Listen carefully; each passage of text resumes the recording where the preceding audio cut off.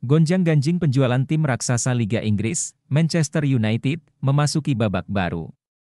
Sheikh Jassim bin Hamad Al Thani yang merupakan anggota keluarga kerajaan Qatar, putra dari Sheikh Hamad bin Khalifa Al Thani, mantan Emir Qatar, dan saudara dari Sheikh Tamim bin Hamad Al Thani, Emir Qatar saat ini, sedang berusaha untuk mengambil alih setan merah dengan memasukkan penawaran terakhir pada angka yang fantastis yaitu senilai 5,5 miliar pound sterling atau sekitar 110 triliun rupiah.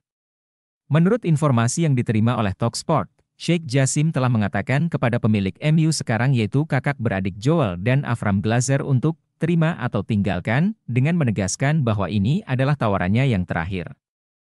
Di samping itu ia juga berencana untuk melunasi utang Manchester United yang mencapai lebih dari 500 juta pound sterling.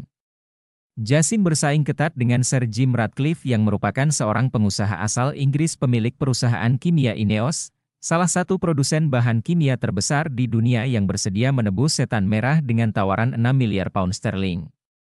Dikabarkan bahwa Joel dan Avram Glazer kelihatannya lebih memilih proposal Ratcliffe, karena itu akan membuat mereka tetap memegang sebagian saham mereka.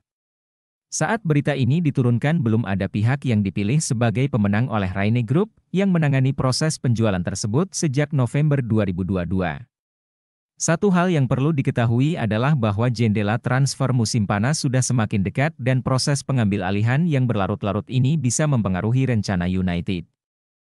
Model kepemilikan baru klub mungkin belum berlaku saat pasar dibuka.